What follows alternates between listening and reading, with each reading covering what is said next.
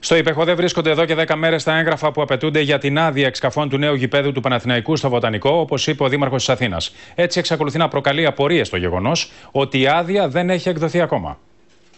Με αγωνία περιμένουν εδώ και αρκετό καιρό στον Παναθηναϊκό την άδεια εξκαφών και αντιστηρίξεων για να αρχίσουν τα έργα για το νέο γήπεδο του Τριφυλιού στο Βοτανικό. Σήμερα ο Νικήτας Κακλαμάνης επιβεβαίωσε ότι από τον Δήμο έχουν σταλεί στο Υπουργείο Περιβάλλοντος Χωροταξίας και Δημοσίων Έργων όλα τα απαραίτητα έγγραφα για να εκδοθούν οι άδειες. Σε ό,τι αφορά το Δήμο της Αθήνας, όλες οι διαδικασίες έχουν τελειώσει. Οι φάκελοι έχουν φύγει, αν θυμάμαι καλά, εδώ και 10 ημέρες προ το ΠΕΧΟΔΕ.